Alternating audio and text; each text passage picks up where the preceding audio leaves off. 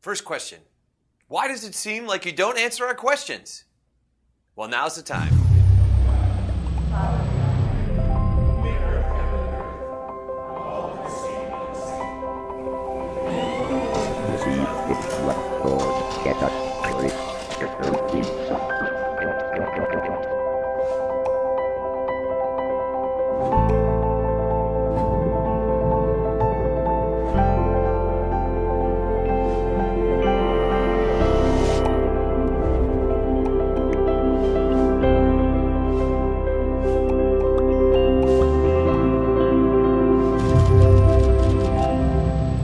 Video, Pastor Aaron answers your questions. Why did people create the Nicene Creed and the Apostles' Creed? Why both? Well, at the beginning of Christianity, there was a lot of disagreement about what Christians should believe. A guy named Marcion, for example, taught Jesus was not born of Mary and that Christians shouldn't read the Old Testament. A group called the Gnostics thought they were in the know, but they falsely taught that the whole created material world was evil and Jesus was only a spirit who only seemed human. Now, around the year 150, Christians, probably in Rome, together put together the Apostles' Creed to define and defend the truth about God's good creation and Jesus' truly divine and truly human nature. Anyone who could confess the Apostles' Creed could not also be following Marcion or be a Gnostic. And therefore, Christians used the Apostles' Creed at baptism to clearly distinguish who followed Christ in the one true faith. The Nicene Creed, on the other hand, was written in response to another round of bad teaching, this time by a guy named Arius. Arius taught that Jesus Christ was not God, but rather simply created by God and not divine in the same way as God the Father. And so the disagreement about Jesus Christ's true nature started to rumble throughout the whole church. Constantine, the Roman emperor, decided to intervene. He called a council of all the Christian bishops from around the world to meet in Nicaea, a town in the present day country of Turkey, to figure out their differences.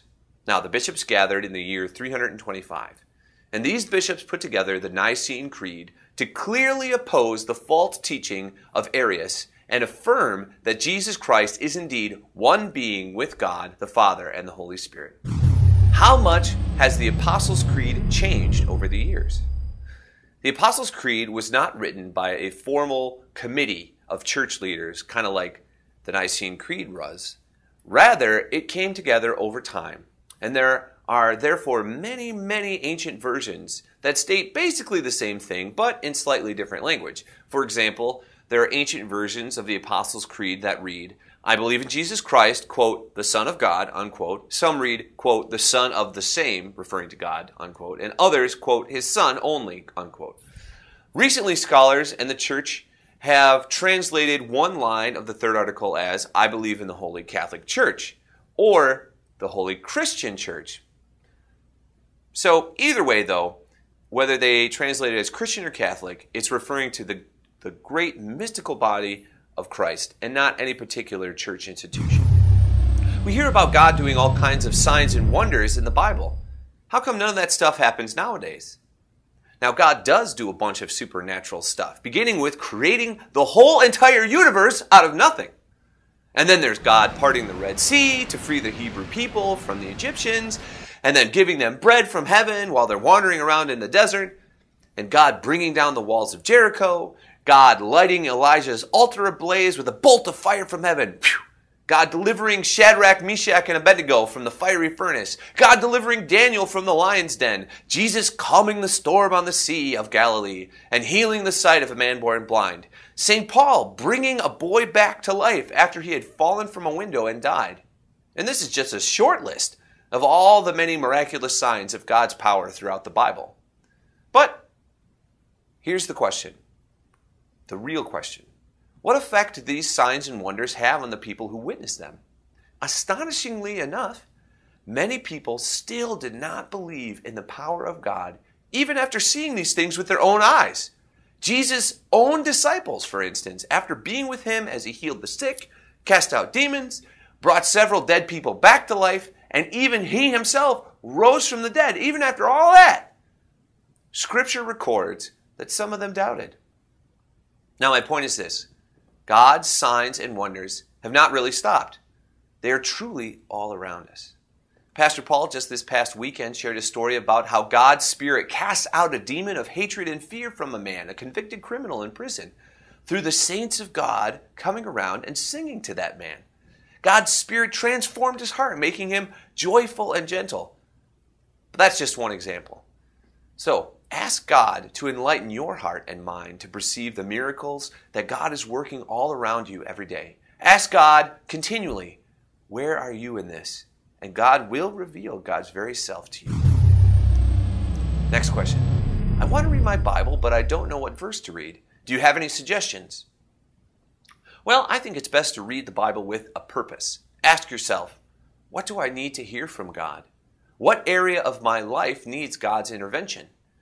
The Serendipity Bible has great Bible study tools to help you read parts of the Bible with questions for God to answer through God's Word. It can give you suggested Bible readings if you're lonely or afraid or seeking guidance, worrying about relationships, whatever. I have a copy here that if you would like, you can borrow it or you could buy your own. Here's a related question Do I need to read the entire Bible? Is it required to read the entire Bible to be a good Christian? No. Almost all Christians throughout time couldn't, in fact, read the Bible. So, should you read the whole Bible? It's probably a good idea that you do that at some point. More importantly, however, is to read the Bible regularly, seeking to hear God's word for you and asking asking God to nurture your faith. Next question. If Jesus provides for all, how come some people have so much and some have so little? Now, this question relates to another even bigger question that I received, which is if God created everything, did God create killing and inequality and hate and suffering and illness and pain and all those other things? The short answer is yes. God created a world where killing, hate, suffering, illness, and death can and do exist. So, does God therefore cause every instance of suffering? No. So let's look at a short list of the causes of suffering. The question is why is there suffering and what is God's role in suffering? Number one, suffering is the consequences of your decisions. If you go outside in the dead of winter without the proper clothing, well, you're going to get frostbite. Number two, suffering is the consequences of others' decisions. If someone chooses to text message while they're driving and they rear end you while you're stopped at a traffic light, well, there you go. That's an example of that. Number three, some suffering is God's discipline. Scripture refers to God as refining or pruning the people that he wants to make productive and better believers and better followers. Jesus says, Every branch that bears fruit, God prunes to make it bear more fruit. That's in John chapter 15. Number four, Suffering comes from God's justice. There are many people uh, in the Bible who are suffering as a consequence of their failure to abide by God's law. And the prime example would be the destruction of Jerusalem and the exile of its citizens as a result of their worshiping false idols and exploiting poor people. This is from the book of Amos. Thus says the Lord For three sins of Judah and for four sins I will return their sins upon them because they have rejected the law of the Lord and have not kept his statutes. But they have been led astray by the same lies after which their ancestors walked. So I will send a fire on Judah, and I shall devour the strongholds of Jerusalem. Number five, following God's mission often causes suffering. Those involved in God's mission often suffer as a result of their faithfulness to God. Paul writes to the Philippians, more than that, I regard everything as a loss because of the surpassing value of knowing Christ Jesus my Lord. For his sake, I have suffered the loss of all things, and I regard them as rubbish, in order that I might gain Christ. That's in Philippians chapter 3. Finally, number six, the whole brokenness of the universe, the cosmos, causes suffering. The whole universe is broken and suffers as a result. Sin penetrates everything, even the natural world. And here's how the prophet Hosea describes it in chapter 4. Hear the word of the Lord, O people of Israel, for the Lord has an indictment against the inhabitants of the land. There is no faithfulness or loyalty and no knowledge of God in the land. Swearing, lying, and murder and stealing and adultery break out. Bloodshed follows bloodshed. Therefore the land mourns, and all who live in it languish. Together with the wild animals and the birds of the air, even the fish of the sea are perishing. Now, St. Paul describes this as creation being subject to fertility and in bondage to decay. That's in Romans chapter 8. And that's not the end of the story, however. God created life and gives it a very good rating and plans to redeem all of it. And thus we wait expectantly in hope for the day when God will release all of creation from captivity to death. So let's go back to the prophet Hosea. And this is what he says I will make for you a covenant on that day with the wild animals and with the birds of the air and the creeping things of the ground, and I will abolish the bow, the sword, and war from the land. I will make you lie down in safety. That's Hosea chapter 2. So, if your fingers get broken in a football game, did it come as a result of God not protecting you? No, not really. Mishaps like this are, in fact, a part of life, a part of the world that needs God to rescue it. So, in the midst of suffering and death, we look to God for comfort with the hope that in the end, death is not God's purpose for creation. God created us for life, and on the final day, God will destroy death forever. This is what it says in the Bible God will wipe away every tear from their eyes, death will be no more, mourning and crying and pain will be no more for the first things have passed away. That's in Revelation chapter 21. Why do I have to forgive so many times, even when it hurts really bad? Well, Jesus indeed instructs us to forgive each other continuously. Forgiveness, however, is not a once and for all type experience. Forgiveness is a process that God's Spirit helps us with. If the prospect of forgiving someone right now seems painful, keep praying about it and talking about it with trusted friends and families and mentors. God can and will heal the pain and bind up the wounds, helping you to forgive. Ultimately, however, some hurts for some folks can never get healed. Not in this life, at least. Some of those emotional and relationship scars last for this lifetime. And so we pray for the day when Christ will restore us all, the final day when God's kingdom will reign over everything and crying and pain will be no more. What really happens when I get baptized? When you are baptized, the whole, God's Holy Spirit forgives your sins, rescues you from death and the devil, and gives you eternal salvation. Wow. Now that's something, a promise, a God's promise you can cling to. Will God forgive me even if I don't ask for forgiveness right after I sin and then die before I get a chance to ask? Well, God's relationship with us is not based upon how many points we've earned through prayer or lost through sins. God's relationship with us is based upon God's love. This is what it says in 1 John chapter 4.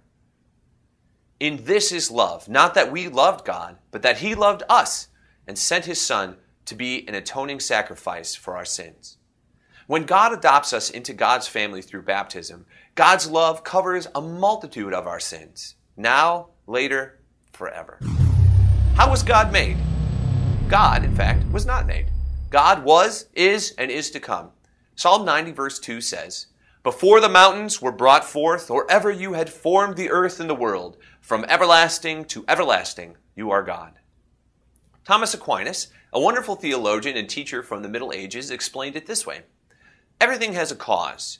You have parents, they have their parents, those people have their parents, and so on.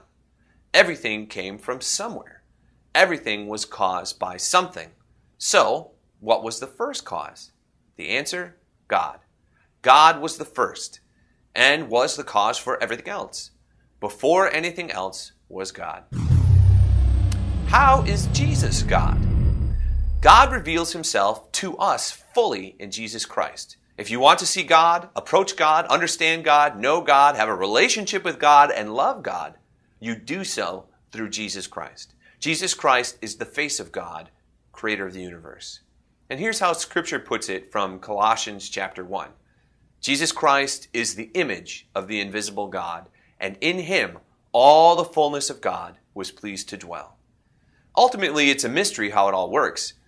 But truly we know that our infinite God chose to come amongst us fully in the person of Jesus Christ. God indeed fully came as a full human, too. Now, what have you asked me to talk about more times that Jesus acted like a human? So, my favorite example is from the story of Lazarus and how clearly we see into the tender heart of God through the tears of Jesus. This is from John chapter 11. When Jesus saw Mary, the sister of Lazarus, weeping, and the Jews who came with her also weeping, he was greatly disturbed in spirit and deeply moved. He said, Where have you laid him? And they said to him, Lord, come and see. And Jesus began crying. Of all creatures God made, only humans cry. We shed tears when we're sad, angry, grieving, lonely, hurt, relieved, afraid, and even joyful. Basically, when we're feeling extreme emotions of any kind. And most often, we cannot control ourselves. The tears come all by themselves. Crying is a most human thing to do. So, here we see Jesus sobbing along with all the others who are sad over the death of Lazarus.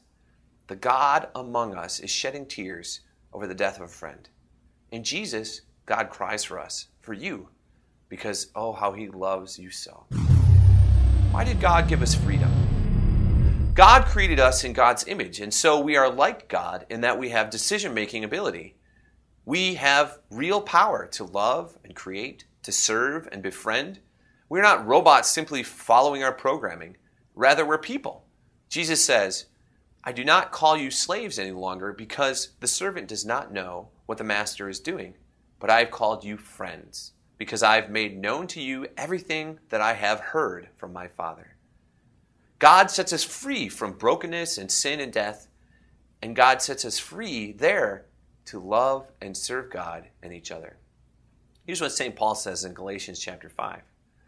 For you were called to freedom, brothers and sisters. Only do not use your freedom as an opportunity for self indulgence, but through love become servants to one another. Finally, two slightly easier questions. First, why are there so many middle schoolers that go to Sunday school, but not so many middle schoolers who go to events like the Spring Hill Winter Retreat or summer, summer camp at Stony Lake? Well, I have two responses to that question. First, I want to give my invitation to all our middle schoolers to participate in more than just Sunday school. There's a whole range of activities for people to enjoy and experience God. Second, I invite all the middle schoolers who have gone on these wonderful events to do some inviting themselves. When you talk about how you experience God and you invite others into those experiences, it makes a big difference. Same thing goes for parents please make sure that you're inviting others to all those great middle school events winter retreat, summer camp, maybe even a lock in coming up. Speaking of summer camp, that leads me to our last question. Someone asked, Can you remember a time when you felt the Holy Spirit in your life? I remember being at camp as a kid, and for some reason I thought it was a good idea to bring a book of ghost stories. Oh, pfft. Well, let me tell you, after the lights went out, I was scared out of my wits. I kept imagining the hand of some zombie coming up from under my bed and choking me. I was so scared I went outside. I sat on the step and I cried there outside my cabin. Now, my counselor heard me and he came out and he said, All right, let's pray together for God's Spirit to fill up your sleeping bag and defend you from all the monsters and scary thoughts. And so we prayed. And you know what? God's Spirit did protect me from those nightmares after that. And I slept soundly the rest of the week. Thanks for watching this week's video. Thanks for all the wonderful questions. Keep them coming. I hope I was able to respond well to all of your uh, quandaries. The link for the online response is below, and I'll see you on Sunday.